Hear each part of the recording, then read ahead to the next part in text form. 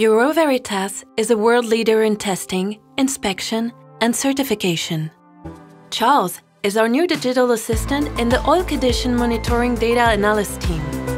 The team mission is to review the test results of lubricants in rotating equipment for predictive and preventative maintenance.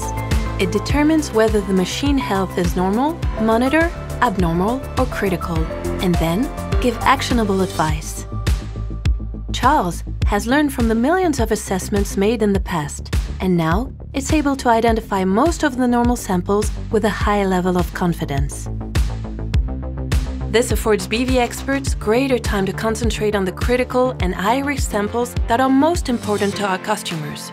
The additional time allows for even more insightful analysis and recommendations, and for Bureau Veritas to shape a world of trust.